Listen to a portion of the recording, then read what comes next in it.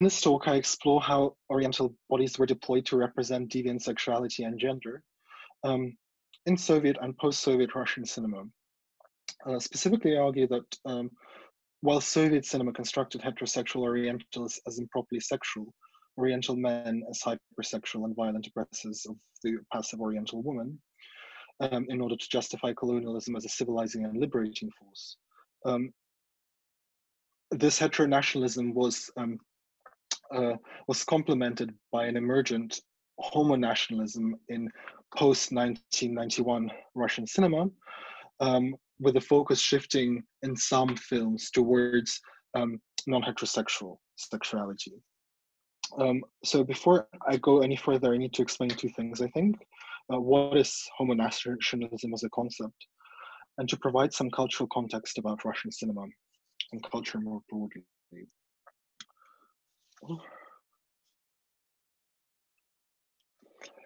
So, I don't want to bore you too much with academic references, but in essence, the concept of homonationalism originates in Jasbir Puar's work on US sexual exceptionalism.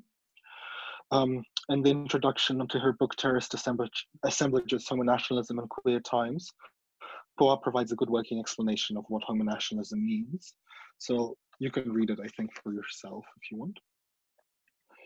Um, basically, Puar argues that homonationalism is a narrative that simultaneously includes certain non heterosexuals, rich, white, cis, gay men, into the nation and defines racial and religious others in terms of improper gender and sexuality at the same time. Crucially, Puar clarifies that homonationalism does not endanger heteronormativity. To the contrary, it both addresses heterosexuality as the norm and operates a commitment to the global ascendancy of whiteness by making white bourgeois marriage the ultimate aspiration for the homonationalist or acceptable gay person. Now, sorry. How does this relate to Russian cinema? First, what is Russia? I mean, I don't know. I feel like I might as well just um, explain this. The term is generally applied to four different states um, that existed and exist now. So various Eastern Slavic principalities that existed in the Middle Ages, but then became, for example, Ukraine and Russia.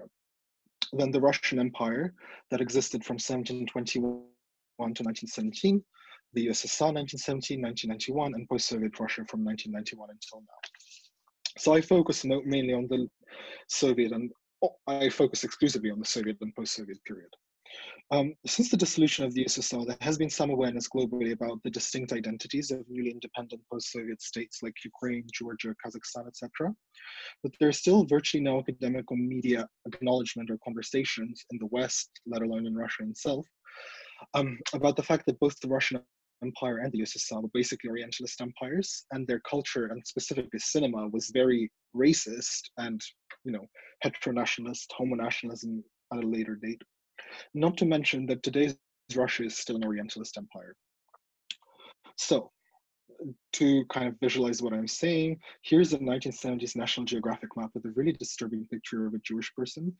Um, disturbing because of the way they portray him. Uh, that basically shows the main nationalities or ethnicities in the USSR. Um, overall, there were more than 200 distinct ethnic groups, ranging from the Inuit in the east to basically Ukrainian and Be Belarus people in the west.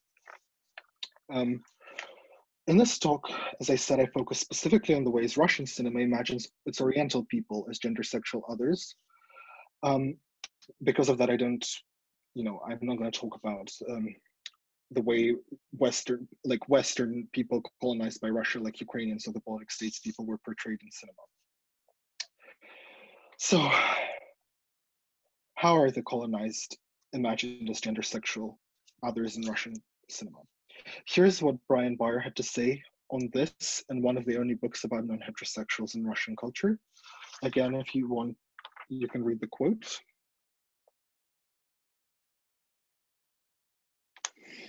Mm.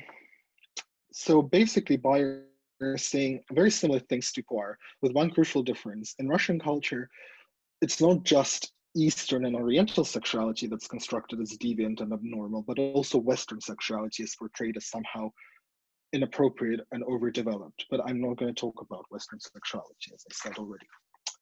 Um, in my opinion, this three-part geography of perversity is a useful frame for thinking about sexuality, not just homosexuality in Russian culture. In fact, the reason I prefer the term queer and que queerness to homosexuality in my work is because Russian culture and cinema in particular imagine all Oriental sexualities as improper, and undesirable, and outside the norm. The real contrast made in, by, in Russian cinema is not between heterosexual and homosexual, but between correct Russian heterosexuality and all Oriental sexualities, which includes obviously homosexuality. so because there was very little or basically no overt portrayals of homosexuality in Russian cinema before 1989, let me briefly talk um, about, uh, let me briefly show you two examples of heteronationalism. Um, because basically the heterosexual Oriental woman was the, the body used to articulate um, nationalist sexual politics in the USSR. Um, in her book, Soviet Politic, politic, oh, sorry, in her book, Soviet Politics of Emancipation of Ethnic Minority Women, um, Yulia Gradskova argues that the Soviet Women's Agency propaganda films, posters, workshops, etc. from the 20s and 30s created the stereotype of a generalized Muslim woman as the main and only target for the enlightening intervention of the state, despite the fact that Muslim women in the USSR were not actually more oppressed than other women at the time, whether they were Christian, Russian, pagan, Buddhist, whatever. In other words, the stereotype or mythology was completely arbitrary. Um, as propaganda films from the 20s and 30s, which Gradskova explores, are basically inaccessible because you have to go to the archives in Russia or in Central Asia and the Caucasus, um, I'm just going to give you three brief examples of propaganda posters that basically demonstrate what I mean. Um, this is a very early example from somewhere in Central Asia, before the language reform, which replaced um, Arabic script with Cyrillic or um, modified Latin. Um, so you can see the woman here is standing on top of her discarded veil or headscarf, holding up a red flag that reads Workers of the World Unite. And to the left, an old woman in a headscarf and two bearded men are pointing to a mosque, telling the young woman to go back to the mosque, I assume. Um, here's another poster from the very early 20s, uh, which is entirely in Russian, uh, meaning that it would have been impenetrable to any Muslim person, basically, because they didn't speak Russian. Um, and this poster theatrically foregrounds white Soviet woman as the Oriental woman's liberator and caters to the white colonial gaze. Um, it was produced and published in Moscow, a city that had few Muslim women at the time, for example. Um, and uses very racist orientalist conventions of representation. Uh, for example, imprecise brushstrokes to make the fully veiled women at the back look like ghosts that blend into each other, the monobrows of the oriental women at the front. Um, here's another later poster from the early 30s from Azerbaijan. So what does this have to do with gender and sexuality? In his famous paper, Algeria Unveiled, Fanon argued that French efforts to unveil Algerian women during the Algerian War had nothing to do with emancipating these women or empowering them to become emancipated, whatever that might mean. Um, instead, it was a calculated propaganda move to foster support for French colonization of Algeria among French people and globally. To achieve this, the French colonial, colonial administration and French women's organizations close to it exploited the tired Orientalist myth of Muslim society as, as sexually perverse and universally oppressive of women. Of course, this is ironic given that France in the 1950s and 60s was a deeply misogynist, heteronormative, and homophobic society. Much the same can be said about these posters and propaganda films that kind of I can't show you, as I said. Um, basically, I believe that the centering of the colonial gaze in Soviet propaganda reveals or unveils that the Soviet push to unveil um, Muslim women was a similar calculated intervention aimed at two things to make more labor available for the state to exploit and to buttress support for USSR colonialism, for, for Soviet colonialism among the white Christian majority, Russians, but also Ukrainian, Belarus, and to a lesser extent Armenians, by exploiting these um, groups' racist fears about Islamic gender and sexuality. Um, although really apparent in these posters, there's a lot of fear, for example, of the sexuality of the Muslim men.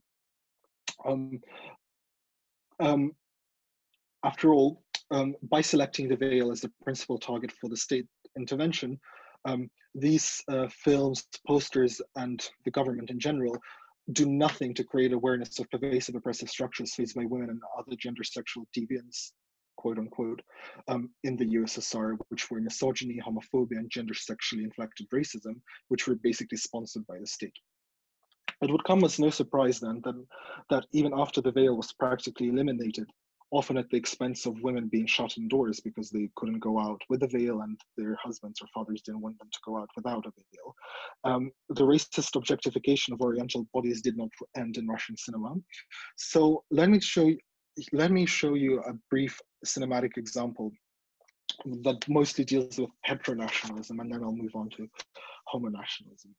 This is Leonid Gaidai's 1967 comedy feature, Woman Prisoner of the Caucasus, which released in the West under mistranslated title Kidnapping Caucasian Style. Um, ironic on so many levels. Um, I argue that this film transparently constructs the Caucasus Mountains, which was the principal Oriental site in Russian culture, together with Central Asia and Crimea, as a place of gender sexual lawlessness that can only be saved through the white Russian intervention. The comedic plot revolves around um, uh, what, a, a, model Soviet young woman, Nina, you can see her here, um, who's a student and here kissing someone in an unnamed Soviet city and a member of the Communist Party youth wing. During the summer holidays, however, she goes back to her Oriental roots, staying with her uncle and aunt in an unnamed village or town somewhere in the Caucasus Mountains. Unfortunately for Nina, her uncle is the chauffeur of the corrupt party official, Comrade Saakhov, who falls for Nina and bribes her uncle into organizing a bridal abduction. As the uncle can't plausibly abduct Nina his, himself, he hires three small-time Russian criminals who have drifted into the town to do the job for him. And suspecting Nina goes on enjoying her holidays by hiking in the mountains where she meets Shurik, a Russian student on an ethnographic expedition to collect local customs things and toasts, face film, um, when the criminal trio fail to abduct Nina, they convince Shurik that she has willingly agreed to marry an unnamed guy, but according to local tradition, she must be she must first be abducted. Overjoyed by this opportunity to participate in a mysterious ancient ritual, Shurik abducts Nina, eventually realizes what he has done, and gets her freed. The plot itself is completely Orientalist and insulting to victims of gender sexual violence, but I find the visual representation of Oriental people in this film even more shocking. Um, so let's look at Nina and Shurik first. Um, here is a still of Shurik and Nina walking together somewhere in the mountains. In case you're wondering why Shurik has this obviously fake blonde hair, basically the director had some weird racial hang-ups about skin and hair color. Um, uh, here's what Elena Prokhorova, the main scholar of the director's work, had to say about it. Alexander Demyanenko, um, the actor who plays Shurik, was for Gaidai the epitome of a pure soul, and in order to achieve the isomorphism, isomorphism of concept and character, the actor had to bleach his dark hair, because obviously dark haired people can't have pure souls. Um, I can only assume that this weird colorism is also the reason Gaidai cast Natalia, Natalia Varley, a Romanian born actress of Welsh, Russian, French descent, in the role of Nina.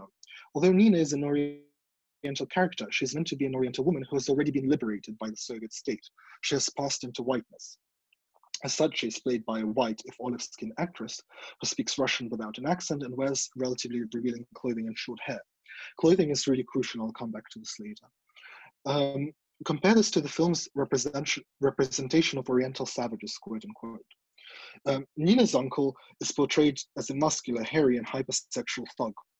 In this still, the uncle is threatening one of the Russian criminals he hired, um, who's wearing obviously um, an Orientalist hat because that's what you do. Um, seeing a man's hairy, muscular chest under a thin tank top was rare in Soviet cinema. And in all Gaidai films, this kind of a shirtless or a tank top Oriental man is used to symbolize kind of a brutish Oriental or Oriental character. And it, he, a character like this appears in all his films, actually, almost every all of his films. Um, in this film, specifically, we do not see anyone, even Nina, in a greater state of undress. But we do see Oriental men engage in other un-Soviet, undesirable activities. Um, here, plentiful grapes hang in Comrade Saakhov's barn, suggesting that he is running a private business or embezzling produce from state-owned farms. in this still from the scene of a local wedding, we also see plentiful drinking. Um, excessive alcohol consumption was officially frowned upon by the Soviet ideology. As a side note, drinking is not traditionally considered taboo for men in some Muslim communities in the Caucasus. Uh, more covertly, this wedding scene also unveils or hints at Russian fears about gender segregation in Oriental society, homosexuality, and maybe even sexual activity between older and younger men, which is kind of an implicit trope in Russian Soviet culture, which is rarely stated explicitly, but it but is hinted at in many ways, not just in cinema. Kind of this idea that the Muslim societies older men sleep, sleep with younger men. Um, interestingly, the film itself is complicit in the erasure of women. I mean, big surprise here. Um, there are only three women who speak on screen. Nina herself, a Russian doctor at the local hospital. All the doctors are white and Russian. Um, and Nina's aunt, who is pictured here. The film follows Orientalist conven- Russian Orientalist conventions to the T, um, showing her sequestered inside the household, wearing some form of turban or headscarf, um, with a mustache and bushy eyebrows.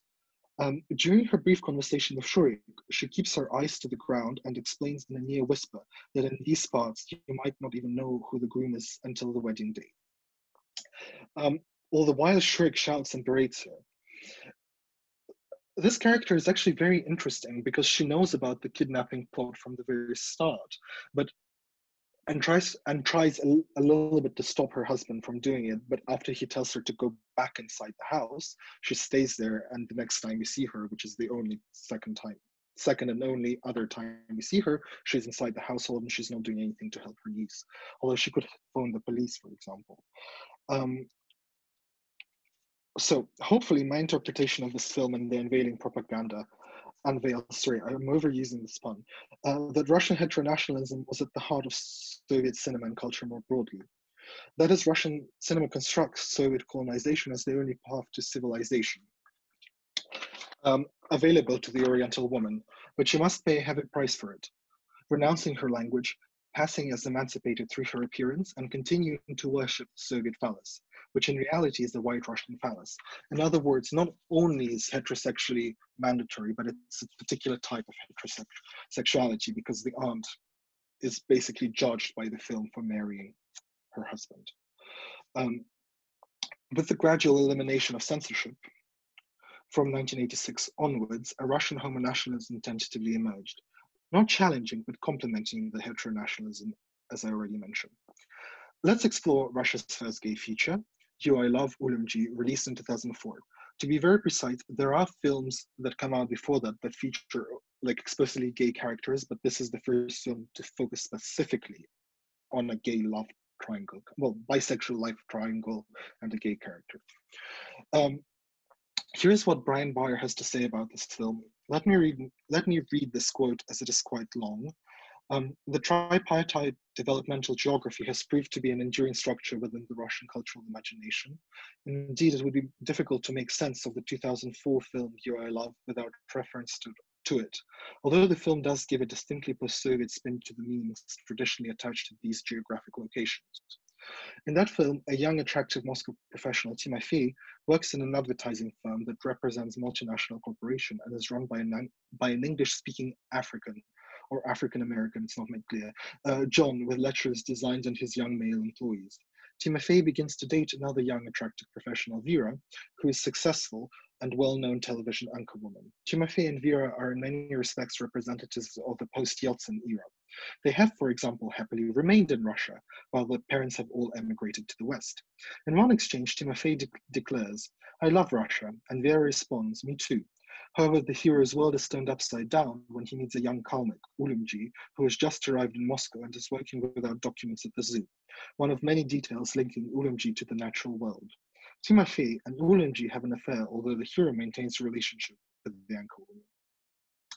In, this in the film's imaginative geography, the Buddhist Kalmyk is associated with spirituality and simple values on the one hand, and with an exclusive gay identity on the other. He's the only character in the film who is described as boy or gay.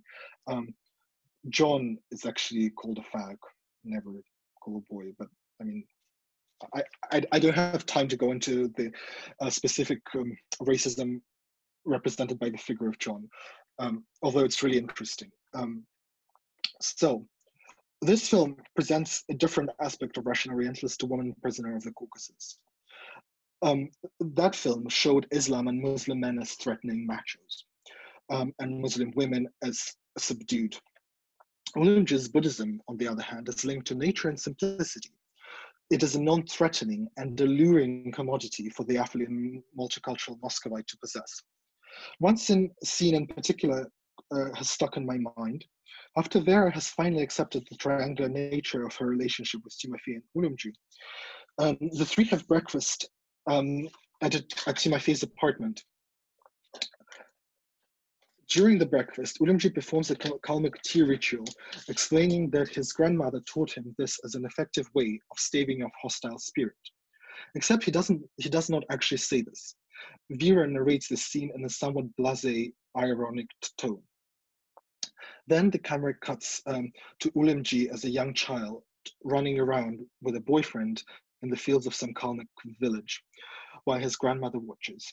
Vera explains, again, she has the narrative authority because obviously Ulumji can't narrate his own, you know, he can't narrate his own identity.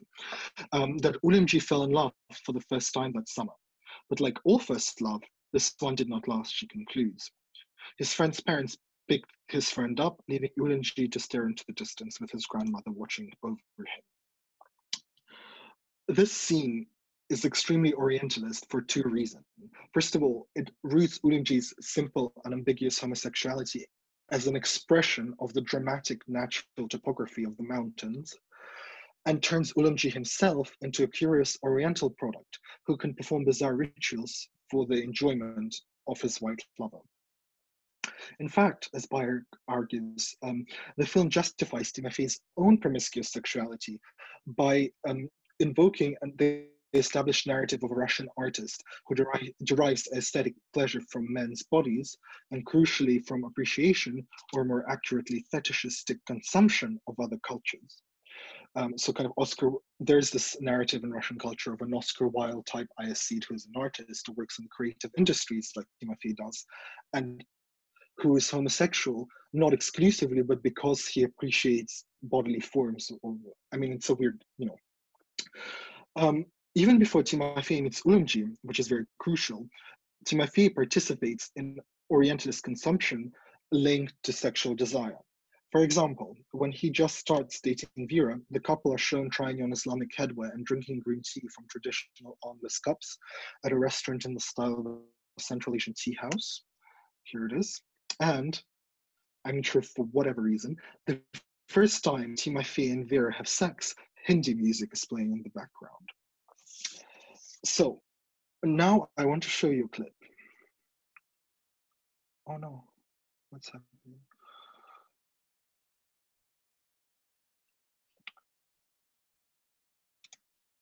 So this, when Ulumji and Timofey have sex for the first time, which you can see in this clip, a popular but decidedly unsexual Soviet song about taking your beloved to ride reindeer in the Siberian tundra by Kola Beldy plays um, in, in the background for a good five minutes. Um, for Ulumji also makes uh, a reindeer sort of gesture with his hands. Um, Beldy, um, the author of the song, uh, is the only indigenous pop star in Russian history. Uh, he is Nanai, and Nanai people are native to eastern Siberia and some adjoining regions um, in the People's Republic of China. Um, Kalmyk people, on the other hand, are based in the North Caucasus and are not, no, where there is basically no reindeer herding at all, no reindeer. Um, I see literally no explanation for the song being played on a loop while Timofey and Ulumji have pointedly animalistic sex, as you can see, well, whatever roleplay, for um, other than the fact that Kalmyk and Nanai people look similarly exotic. After all, Timofey and the filmmakers don't really seem to care about which specific culture they are objectifying. Um, in many ways, I also wonder whether the director, the director actually wanted a quote unquote yellow actor from Siberia for Ulumji's role, but could only find a Kalmyk. Because the film is overloaded with imagery of fur and reindeer. Let me go back to my presentation. Um,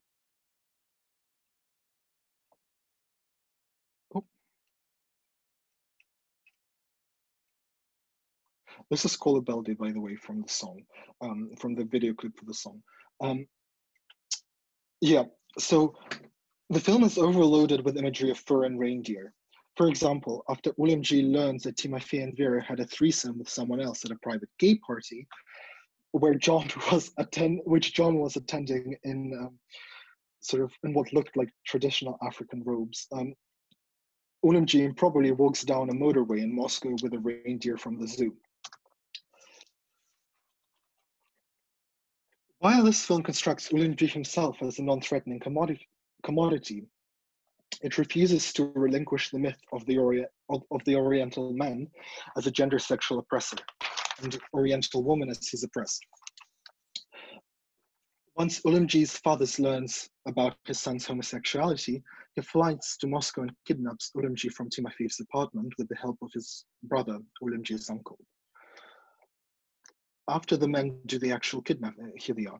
After the men do the actual kidnapping, Ulumji's mother enters the apartment, bowing to her colonial superiors, uh, Timofey and Vera, and asking for their forgiveness.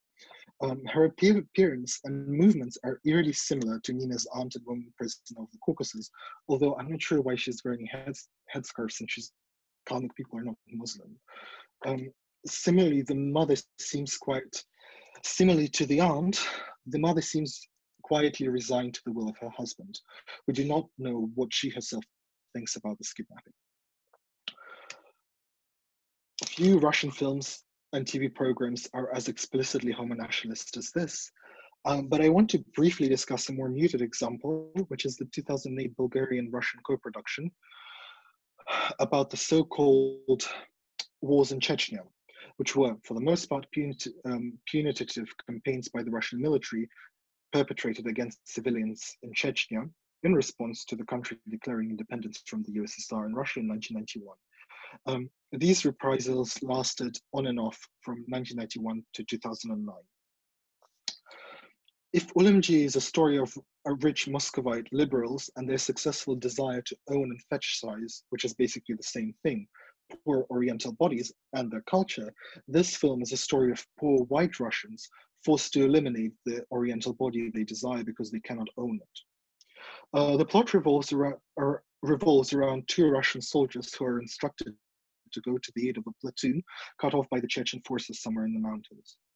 They take a captive Chechen youth, Jamal, as their guide through the treacherous mountains. Here is one of the soldiers on Jamal.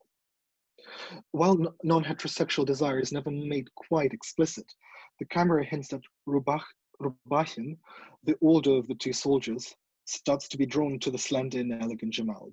For instance, there are long lingering shots of Jamal washing and eating and sleeping from the soldier's point of view. The soldier's handling of the youth also becomes progressively tender. Here's another picture of Jamal. Uh, I don't want to include too many images from this film because it's kind, kind of triggering.